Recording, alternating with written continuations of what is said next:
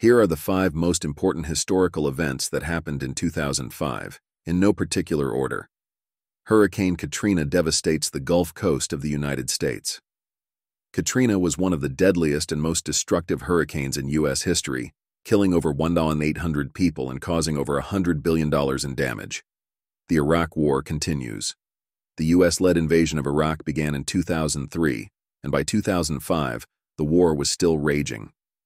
The war was highly controversial, and it had a devastating impact on Iraq. The Kyoto Protocol on Climate Change takes effect. The Kyoto Protocol was an international agreement to reduce greenhouse gas emissions. The protocol was signed in 1997, but it took effect in 2005. The G8 summit is held in Scotland. The G8 summit is a meeting of the leaders of the eight most industrialized countries in the world. The 2005 summit was held in Gleneagles, Scotland, and it focused on issues such as poverty, climate change, and debt relief. The Live 8 concerts are held around the world. The Live 8 concerts were a series of concerts held around the world on July 2, 2005, to raise awareness of poverty and debt in Africa.